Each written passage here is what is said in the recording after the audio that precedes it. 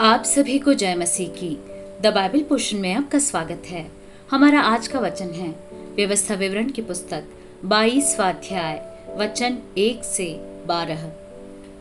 तू अपने भाई के गाय बैल या भेड़ बकरी को भटकी हुई देखकर अनदेखी न करना, उसको अवश्य उसके पास पहुँचा देना। परंतु यदि तेरा वह भाई निकट न रहता हो या तू उसे न जानता हो तो उस पशु को अपने घर के भीतर ले आना।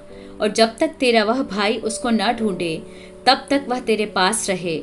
और जब वह उसे ढूंढे, तब उसको दे देना। और उसके गधे या वस्त्र के विषय, वरन उसकी कोई वस्तु क्यों न हो, जो उससे खो गई हो और तुझको मिले, उसके विषय में भी ऐसा ही करना। तू देखी अनदेखी ना करना। तू अपने भाई के गधे या बैल को मार्ग पर गिरा हुआ देखकर अनदेखी न करना। उसके उठाने में अवश्य उसकी सहायता करना। कोई स्त्री पुरुष का पहरावा न पहने और न कोई पुरुष स्त्री का पहरावा पहने, क्योंकि ऐसे कामों के सब करने वाले तेरे परमेश्वर यहुआ की दृष्टि में घृणित है। यदि वृक्ष या भूमि पर तेरे सामने मार्ग में किसी चिड़िया का घोंसला मिले, चाहे उसमें बच्चे हों, चाहे अंडे, और उन बच्चों या अंडों पर उनकी माँ बैठी हुई हो तो बच्चों समेत माँ को न लेना। बच्चों को अपने लिए ले तो ले, परंतु माँ को अवश्य छोड़ देना। इसलिए कि तेरा भला हो और तेरी आयु के दिन बहुत हों।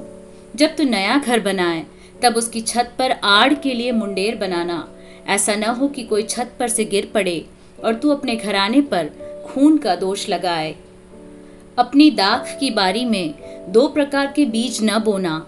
ऐसा न हो कि उसकी सारी उपज, अर्थात तेरा बोया हुआ बीज और दाख की बारी की उपज दोनों अपवित्र ठहरे।